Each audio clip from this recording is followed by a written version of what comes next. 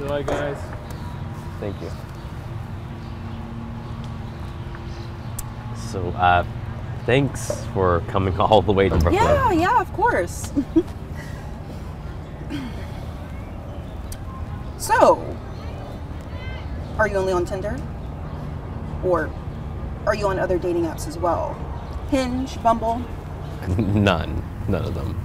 I mean, maybe a few. Actually, all of them. Okay. And are they effective? Uh, I mean, have you gotten second dates? Actually, none. Um, but I'm hoping that this will turn into a second date. I have something to confess. Um, please don't be mad, but I just need to be upfront and honest. I'm not interested in this date, and I'm not interested in dating in general. I know you're a good guy, um, but I am completely focused on my startup. And I, I don't have time for all this dating stuff. Wait, um, I'm confused. Actually, I'm very, very confused. If you didn't want to date, why did you match with me? Are, are we on a hidden camera show? No. There's no hidden cameras. But I have an amazing opportunity for you. The name of my startup is called Language of Love, or LOL for short. But I can get you those second dates that you've been wanting. I guarantee it. I've done the research. It's solid. So, wait. What do you mean? Is this. So, this all just a bait and switch? This is ridiculous. Did did I just waste my time, plan this date, just so I can get a business pitch from you? This is ridiculous. No, I'm done. Okay? I'm complaining about you on all the dating apps. No, no, no, no, no, no. Don't complain. I've got enough on my hands. I've spent all of my money on this, and I haven't secured one client. But trust me, I've done the research. It's solid. I can get you those second dates. Just trust me.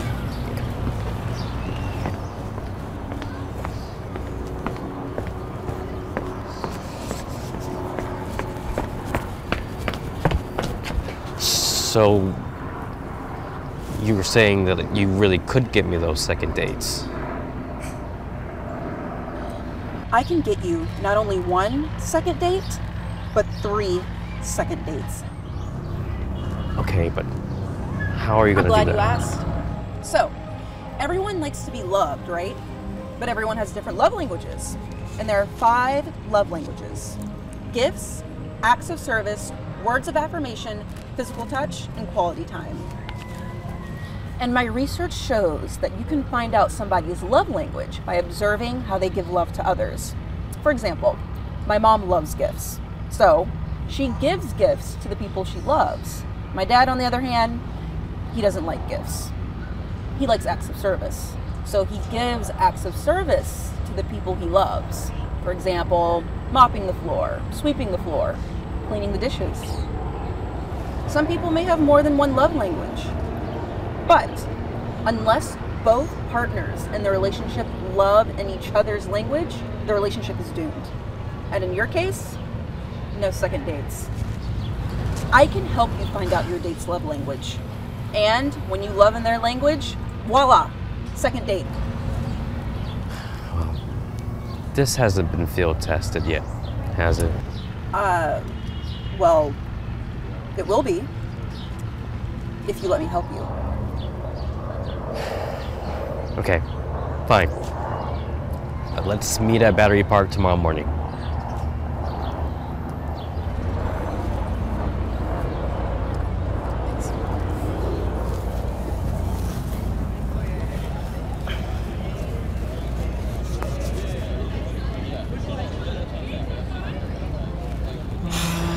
This is a crazy plan.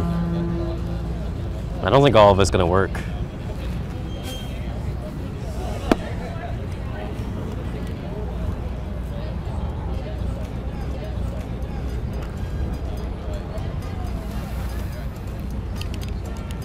sit back. I got this.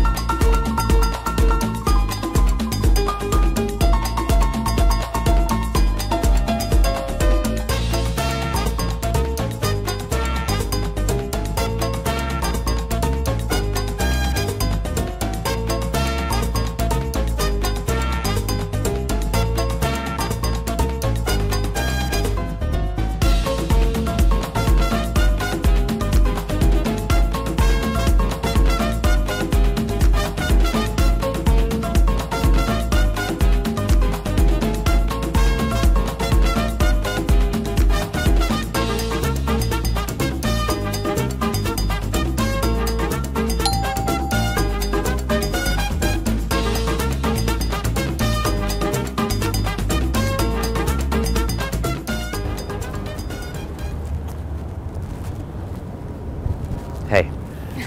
I told you my plan would work. Yeah. Yeah, you did. What's this? If you don't want it, I'll take it back. No, no, I want to see it. I thought you'd be busy with one of your third dates by now. yeah, um, there aren't gonna be any third dates. What? What happened? They all wanted a third date, and I said I didn't want one. Are you crazy? We put in all this work, set you up for success, and then you go and do this? Well, how can I go on a third date with them when I'd rather be here on the second date with you?